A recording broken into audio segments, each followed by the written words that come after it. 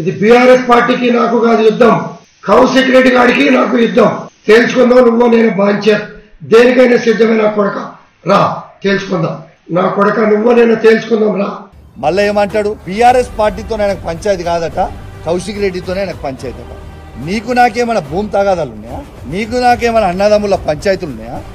Yes నేను అడిగింది ఏంది? నువ్వు చెప్పే జవాబు ఏంటిది నువ్వు మాట్లాడేది ఏంటిది నిర్సిగ్గుగా నిర్లజ్జగా నువ్వు మాట్లాడే మాటలు యావత్ తెలంగాణ ప్రజలు మొత్తం కూడా వింటా ఉన్నారు. అసలు నువ్వు బీఆర్ఎస్ బీఫామ్ మీద గెలిచి బీఆర్ఎస్ బీఫామ్ మీద గెలిచి కాంగ్రెస్ పార్టీలో చేరనికి నీకు సిగ్గనిపిస్తలేదా ఎట్లా ఈ కష్టకాలంలో పార్టీ వదిలిపెట్టి పోవాలనిపిస్తా ఉంది? అంటే మీ వ- వందలాది కోట్లకి అమ్ముడు పోడు మీ భూ పంచాయతీ లేడని నియోజకవర్గంలో ఉంటే అవి పోయి సెటిల్ చేసుకోవడానికి కోసమో మీ స్వార్థం కోసం తప్పితే కేసీఆర్ గారు నీకేం తక్కువ చేసిండు?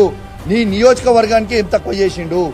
ఈ నియోజకవర్గాన్ని మొత్తం భారతదేశమే తిరిగి చూసే విధంగా అభివృద్ధి చేసిండు కదా కేసీఆర్ గారు.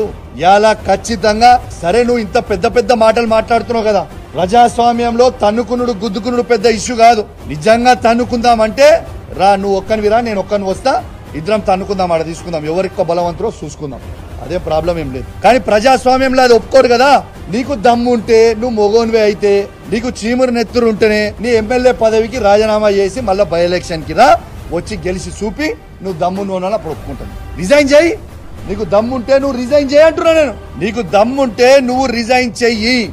Come will go for election ఆడ చూసుకుందాం. అది నిజమైన ప్రజాస్వామ్యం కదా. నీ దమ్మేందో మా కేసీఆర్ నాయకత్వంలో మా దమ్మేందో మేము చూపిస్తాం.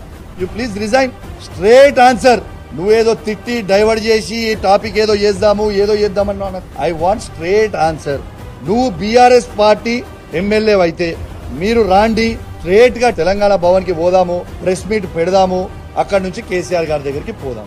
లేదు అంటే నేను నువ్వు కాంగ్రెస్ పోయినవా నువ్వు అనుకుంటే చక్కగా రిజైన్ చేయి ఎలక్షన్ పోదాం నీ దమ్మేందో మా దమ్మేందో చూసుకుందాం.